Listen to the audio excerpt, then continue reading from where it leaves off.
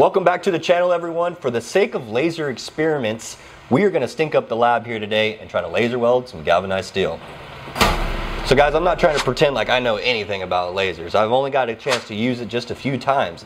Right here I've got my man Rex Alexandre from the Handheld Laser Institute. He's got some miles on a laser and today he's going to walk me through some of the challenges of welding galvanized steel and it's not something that you've really dabbled with a whole lot so we're going to be a kind of a learning process for us both huh that's right yeah most of my experience has been welding stainless steels okay this galvanized steel welding i understand the theory about what makes it bad and what should make it good I've got some ideas of where we're going to go, and we'll figure it out together. Right. We should know all the troubles when it comes to welding galvanized steel. There's essentially a zinc coating over the steel itself. After that, it's just steel. But the properties of steel and zinc are a little different, right? Yeah, and it's super important, especially when it comes to laser, right? The energy density of a laser is incredibly high. That's what allows us to penetrate deeply into the material.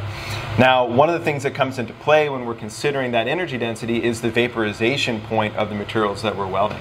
So zinc melts at about 450 degrees Celsius. It vaporizes at 950 degrees Celsius, but we're not melting our steel until about 14 or 1500 degrees right. Celsius. That's when you see that the, exactly. the bust of smoke, so, the porosity, the So issues. we're vaporizing all of that galvanized and creating that porosity. So I think we'll try a little bit of silicon bronze wire to do more of a laser braze. Oh, no kidding. Yeah. You can braze with a laser? We can. Yeah, brazing galvanized with laser has been kind of the leading thought process for the past few years. Uh, recently, though, I've seen a few things where people have actually been defocusing the beam on the surface and using stainless wire. So you okay. retain your corrosion resistance. By defocusing the beam, we don't vaporize the galvanized.